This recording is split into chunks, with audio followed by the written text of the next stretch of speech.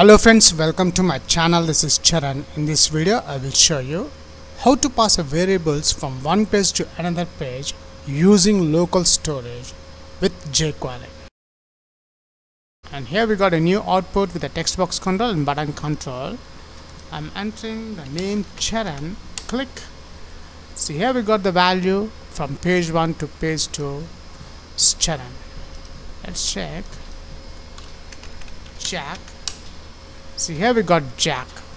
If you are a first time visitor to my channel, please subscribe to get the latest updates.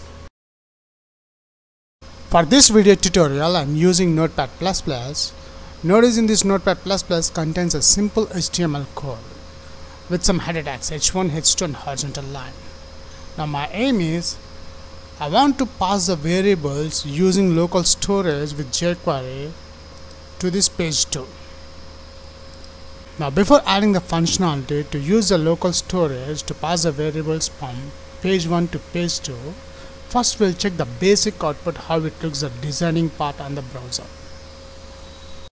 And this is the output of that code which contains at this moment the page 1, the header tags and the horizontal line. Now my aim is I will pass variables from page 1 to page 2 using jQuery with local storage. So when we are using jQuery functionality, eh, the first thing we require the latest jQuery CDN link. For that I'm adding search for latest jQuery CDN Google. And from the search results, I'm selecting the first option hosted libraries. In the Google hosted libraries, notice at the corner there is a contents panel which contains the jQuery. Click that one. Here you can find different CDN snippets. I'm selecting the version 3.3.1. Just copy this one and add in our page 1 local storage HTML page between the header tags. After adding the jQuery CDN, now in the body, after the horizontal line, I'm adding the input type is equals to text. Id is equals to pass variable. I'm closing this input text box control the next control I'm adding the button control.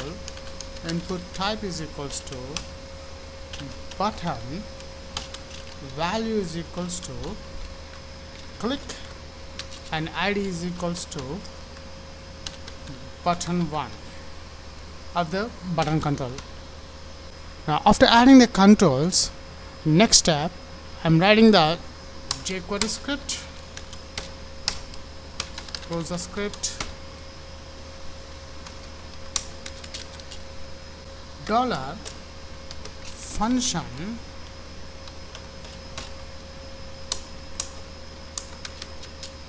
Now in this function I'm adding the button click event dollar between double quotes and we are adding the IDs in the JavaScript or jQuery we need to prefix with hash button 1 dot click function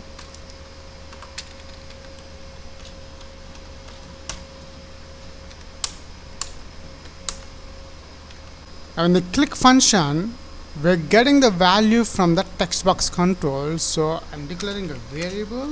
Username is equals to dollar between double quotes. We're getting the value from the text box control so I'm adding the ID of the text box control which is pass variable hash pass variable dot val method.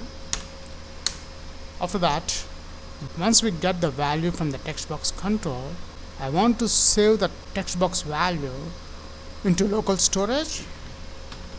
Local storage dot get item set item sorry. So it's dot set item. The set item takes two parameters. The first one is a key which I'm adding mm, get value. Comma the second parameter I'm adding the username is a value from the text box control.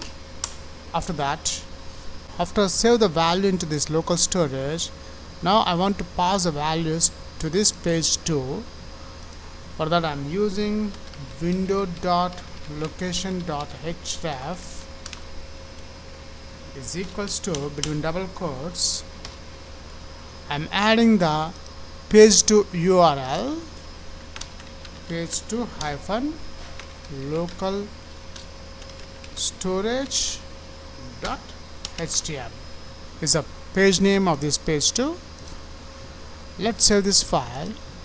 That's it. We have written the coding part in page 1 now in the page 2 we have to receive the values from the page 1 text box control now in the body in the page 2 body I'm adding the span tag.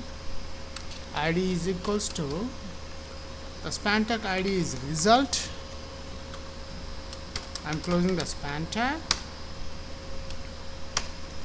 Here I'm adding welcome.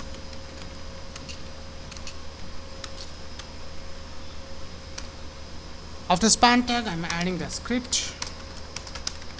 Script in the script and the script I'm adding document dot get element element by id between double quotes.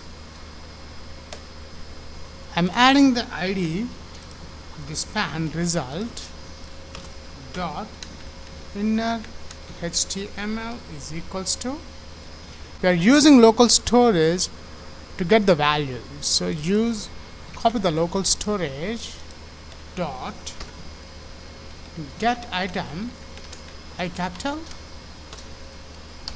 The get item function takes one parameter which is a key. The key is the get value. Copy this one and paste here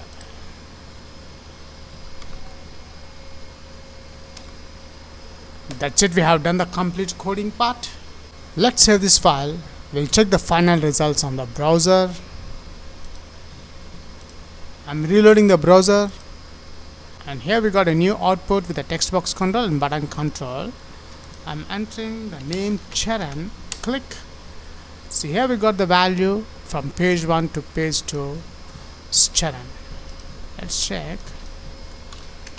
Jack see here we got Jack. And one more important thing is I'm using local storage to pass values from page 1 to page 2 but I copy this one and I paste here the page 2 URL see here still we got the jack value. So to clear the local storage values simply we need to clear the sessions more tools clear browsing data.